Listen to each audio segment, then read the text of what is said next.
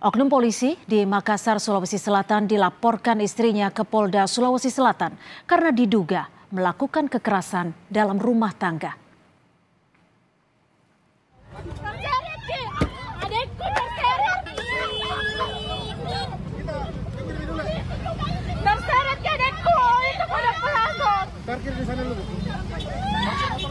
Inilah video amatir saat sang istri mendapati suaminya yang merupakan polisi Polda Sulawesi Selatan sedang berada di dalam mobil bersama seorang perempuan.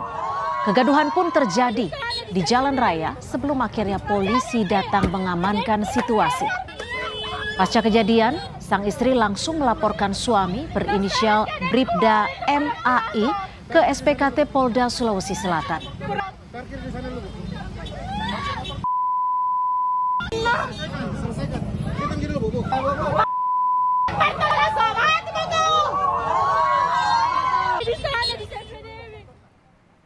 Mempermudah penyelidikan, Bribda MAI yang bertugas di Yanma ditempatkan di penempatan khusus atau Patsus. Kasus KDRT ditangani Direktorat Reserse Kriminal Umum Polda Sulsel dan Bribda MAI juga menjalani pemeriksaan di Propam. Kabit Humas Polda Sulawesi Selatan bilang, oknum polisi bertugas di bagian Yanma Polda Sulawesi Selatan.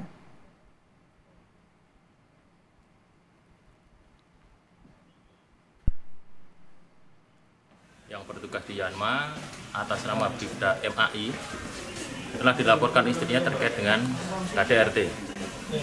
Nah ini sudah ditangani oleh uh, Krimum karena selesai kejadian itu istrinya langsung melaporkan ke SPKT.